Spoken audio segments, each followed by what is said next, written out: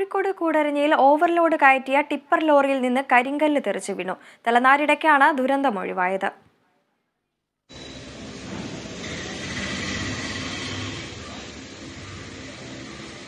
കൂടരഞ്ഞി മേലേക്കൂമ്പാറയിൽ രാവിലെയാണ് സംഭവം.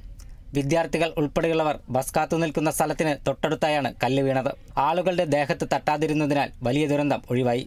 കൂമ്പാറയിലെ കോറിയിൽ നിന്ന് കല്ല് കൊണ്ടുപോകുന്ന ലോറിയിൽ നിന്നാണ് കല്ല് അപകടകരമായ രീതിയിൽ പുറത്തേക്ക് തെറിച്ചു വീണത്. ക്വാറിയിൽ കൃത്യമായ അളവിൽ കല്ല് കയറ്റിവിടുന്നതിന് വെയ്ബ്രിഡ്ജ് സ്ഥാപിച്ചിട്ടില്ലെന്ന് നാട്ടുകാർ ആരോപിച്ചു.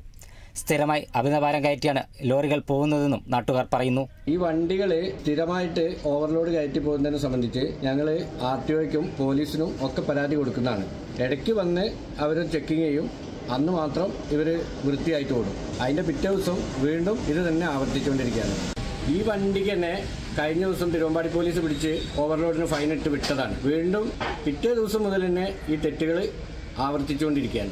നേരത്തെ ഇതേ ടിപ്പർ ലോറി ഓവർലോഡ് കയറ്റിയതിന് നടപടി നേരിട്ടിരുന്നു. ടിപ്പർ ലോറികൾ നിയന്ത്രണങ്ങളില്ലാതെ അപകടകരമായ രീതിയിൽ സർവീസ് നടത്തുന്നതിൽ വലിയ ആശങ്കയിലാണ് പ്രദേശവാസികൾ.